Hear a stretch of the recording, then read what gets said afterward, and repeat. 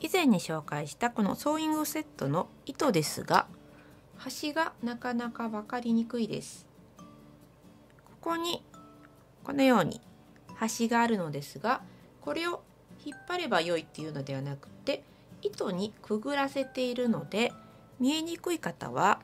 眼鏡をかけていただいてからこのくぐっている糸をこのように取ると取れます。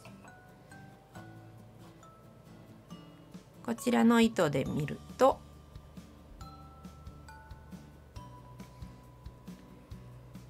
糸端が見えてますがここにくぐらせてあるので目打ちなどでこのようにほどきます。